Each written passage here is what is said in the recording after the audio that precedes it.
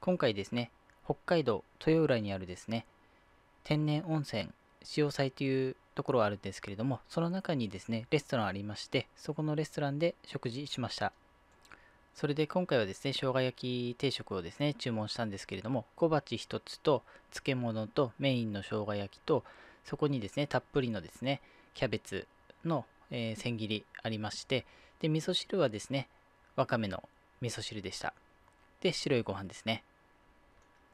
で、生姜焼きなんですけれども、見ての通りですね、とてもですね、美味しそうですね。肉の厚さがまずしっかりとありまして、で、程よくですね、脂身もあります。で、とにかくですね、肉が柔らかかったので、かなりですね、あの、美味しかったです。とにかく肉の柔らかさがですね、すごく柔らかったので、またですね、食べたいなと思いました。で、生姜焼きのタレなんですけども、若干ですね、ちょっと醤油が強くてですね、しょっぱいなっていう感じもあるんですけれども、生姜の香りと、程よくですね、甘さと、で、醤油醤油のですね、しょっぱさっていう感じですね。で、白いご飯によく合う感じでした。まあ、個人的にはですね、もう少し甘めでもいいかなっていう感じもありましたけれども、とても美味しかったです。それと、豚肉なんですけれども、SPF 豚っていうのをですね、使っているようで、スペシフィックパセジンフリーということで、えー、特定の病原体がないという意味ですね。スペシフィック、えー、特定のパーセジン病原体フリーでないということのですね、あの、頭文字を取って SPF 豚ということになっているようです。SPF 豚ですね、筋肉のきめが細かくて保水性も高いので、で、それとですね、豚の臭さもですね、あまりないということで美味しいということみたいです。はい、こちらはですね、豚丼になります。豚丼の方はですね、味噌汁と漬物と豚丼のセットになっていまして、で、豚丼の方がですね、タレがやっぱりですね、甘くてですね、豚丼っぽいなっていうタレの味になっています。甘めのタレが好きな人はですね、豚丼の方がいいかもしれません。お肉はですね、生姜焼き同様にですね、すごく柔らかくて美味しかったです。で、こちらがですね、ホタテと、あとそばのセットのメニューですね。ホタテはですね、豊浦の方で有名な食材の一つですので、ぜひこちらの方来たらですね、一度食べてみるといいと思います。ホタテの天ぷらはですね、柔らかくてですね、とても美味しかったです。やっぱり天ぷらとそばよく合いますので、このメニューもですね、とてもいいなと思いました。はい。で、メニュー他にもですね、このような感じでたくさんあります。で、ここのレストランでのおすすめの一つとして、ホタテのあんかけ焼きそばありまして、それもですね、結構人気のようですので、もしこちらの方来たらですね、試しに食べてみてください。はい。そしてですね、他にもメニューあるんですけれども、今回定食で、エビフライ定食もあったので、ちょっとこっちとですね、さっき食べた生姜焼き定食とどっちにしようかなと迷ったんですけども、エビフライ定食もですね、すごく美味しそうだなという、あの、見た目でしたね。あとはですね、ビールなどに合いそうなおつまみ関係もですね、メニューにありました。はい。で、レストランのすぐ横ですね、温泉入る入り口になってるんですけども、このような感じですね。で、この潮騒温泉ですね、あの露天風呂ですね、すごく広々としていて気持ちいいので、で、中の室内の浴槽も結構ですね、広くてですね、いいので、ぜひですね、寄ってみてください。確かですね、ここの温泉はですね、あの塩分が強い感じの温泉だと思いましたので、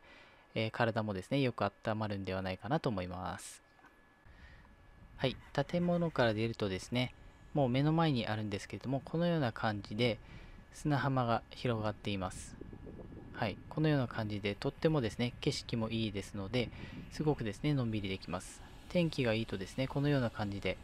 すごく気持ちいいので、少しですね、散歩するのもいいですし、砂浜にですね、ゆっくりとですね、座って、ちょっとお菓子とか飲み物持ってきて、のんびりするのもいいなという感じです。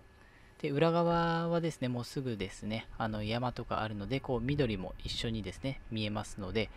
すごくですね、気持ちよくのんびりできます。はい、せっかくなので、この辺まで来てですね、ちょっと橋を渡って、景色がすごく良かったので、えー、橋をですね、渡って向こう側もちょっと景色見たいなと思ったので、行ってみることにしました。はいこのような感じで波打ち際まで来るとですね、景色やっぱりいいので、のんびりですね、景色見ながら歩くのもいいなといった感じです。そしてですね、あの一番向こう側まで行くとですね、結構釣りしてる方いまして、えー、今回ざっと見た感じだと5、6組ぐらいはですね、釣りしてるかなといった感じでした。えー、みんなですね、こう投げ釣りでやってるような感じなので、この辺ですね、見ての通り砂浜になってるので、多分この辺はですね、まだ砂浜が多いと思うので、カレイなんかですね、よく釣れるんじゃないのかなといったイメージですね。で、多分ですね、あのー、私釣り行った時もですね、いつもよく釣れるソイとか、アブラコとか、ガヤ、この辺はですね、あのー、大体どの辺行っても釣れるので、こういった魚種はですね、どこでも釣れるんじゃないのかなと思います。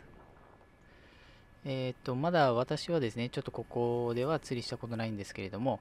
またですね、ちょっと時間あるとき別の機会に、一回も釣りしたことないので、ちょっとどんな感じかなと思って、来てみたいなとは思っています。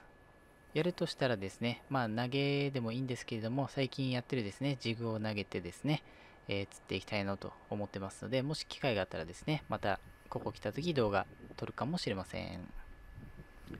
あとですね、豊浦近辺ですね、秋になると結構ですね、鮭釣る人も多いみたいですので、もしかしたらですね、ここから釣れるかわかんないですけども、ここだったり、ちょっと別の場所を移動してですね、えー、竿な、えー、仕掛け投げればですね、鮭なんかも釣れると思いますので、秋、冬、11月とか12月頃になるんですかね、そのぐらいに来るとですね、もしかしたら釣れるかもしれないので、えー、もし時間あったらですね、鮭の方もですね、チャレンジしに来るかもしれません。まあ、このような感じで豊浦ですね、綺麗になってますので、ぜひですね、一回来てみるといいと思います。あと夏はですね、結構キャンプする人も多いみたいで、この辺ですね、キャンプ場もあるみたいなので、で、温泉もありますので、キャンプして温泉も入れて、すごくですね、場所いいとこにあるんじゃないかなと思います。